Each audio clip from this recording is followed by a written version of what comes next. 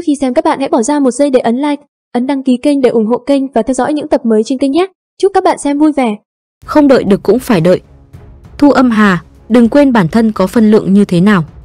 Ta có thể đợi vị đó không thể đợi được. Bà ngoại bà đi chậm một chút. Lão thái bà này sao lại tới đây rồi, tiểu tử đó rốt cuộc có thân phận gì? Anh lão, may mà trước khi đến đã nhờ Lâm Chiến Đình mời anh lão tới đây.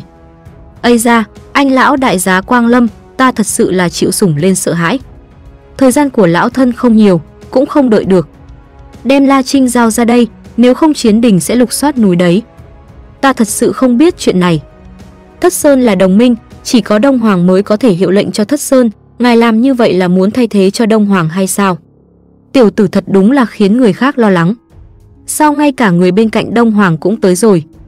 Cứ mới ra khỏi Thái Đích Cung thì đã bị bắt đi Thái Hạo Sơn rồi. Diệm Phi nương nương. Lẽ nào Đông Hoàng đại nhân cũng biết chuyện này, cũng muốn cứu La Trinh. Đông Hoàng sắc lệnh, Thái Hạo Sơn nhanh chóng phóng thích cho La Trinh. Chuyện này, được rồi. Nếu như các vị thật sự nghi ngờ, lúc soát đi là được. Diệm Phi nương nương ta sẽ đi, ta có thể cảm ứng được ngự kiếm ấn của hắn. Ừm, ngươi đi là được. Hết cách rồi, nhưng kéo dài lâu như vậy, huyễn sư cũng phải ra tay rồi chứ. Xin thỉnh giáo Diệm Phi nương nương, là Trinh này là nhân vật bậc nào? Hắn là bằng hữu của con gái ta, hôm nay còn đến Thái Đích cùng chơi. Cái gì, bịa như vậy thật sự có tốt không? Sao hắn có thể là bạn của Phượng ca được chứ, còn đi đến Thái Đích cùng chơi? Ha ha ha, đệ tử này còn quen biết với Phượng ca điện hạ nữa sao? Khá là thân thiết, sau này làm con rể của ta cũng không chừng. Cái gì, con rể? Không hổ danh là huyễn sư, hắn đã ngoan ngoãn viết được 100 chữ rồi. Hắn đi vào ảo ảnh, hắn toàn nghe theo chỉ huy của ta, đương nhiên là có bao nhiêu thì viết bấy nhiêu. Nhanh như vậy đã tìm đến rồi. Đông Hoàn có lệnh, lập tức thả La Trinh ra. Nếu như không nghe theo đừng trách ta không khách khí. Được rồi, La Trinh ngươi không sao chứ. Ta không sao, đa tạ thu tiền bối đã giúp đỡ. Chúng ta đi hạo nhiên kiếm điện, chuyện này không thể bỏ qua như vậy được. Ta nhớ, Hoàng Đại Nhân hình như có nói qua, La Trinh không ở Thái Hạo Sơn. Phu quân đều là lỗi của thiếp thân. Không nên vì cái chết của Hữu Vi, đem La Trinh lên trên núi. Cái gì? Nàng nói Hữu Vi nó bị làm sao? Thật đúng là biết diễn. Từ Hữu Vi nhiều lần hẹn đấu sinh tử với ta, có ý muốn giết ta trước. Lần đầu tiên hắn gặp La Trinh thì đã muốn động thủ với La Trinh, ta có thể làm chứng. Bắt ta chẳng qua cũng chỉ là muốn chân ngộ thiên, 100 chữ, cầm đi. Hai vị xin hãy nén đau thương, nếu như La Trinh không bị gì, chuyện hôm nay kết thúc tại đây. Từ thọ cái lão già xảo quyệt này. Thôi bỏ đi, còn truy cứu khó mà thoát ra được. Hai, là ta dạy con khôn đúng, gây thêm phiền phức cho mấy vị rồi. Lần đầu tiên nghe nói tới ngươi, ngươi vừa mới vào biển chân ý, tu vi đã thăng cấp rất nhanh. Bà đã quá khen rồi. Đại thế giới hỗn nguyên rất nhanh có thể sẽ mở ra, lão thân tặng cho ngươi hai vé, ngươi hãy cùng đi với Sương Nhi.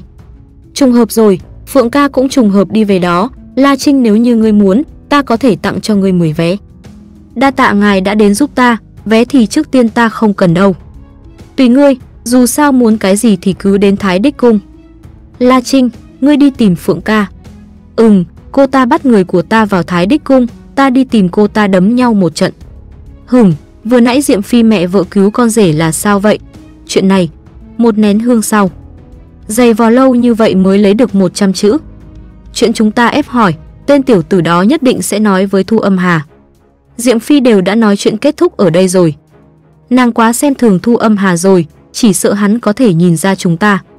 Ngài đã nghĩ nhiều rồi, cho dù thiên cung nhìn ra cái gì, cũng không có lý do ra tay với chúng ta, nhiều nhất là mấy năm, chúng ta có thể hành động được rồi. Hy vọng là vậy.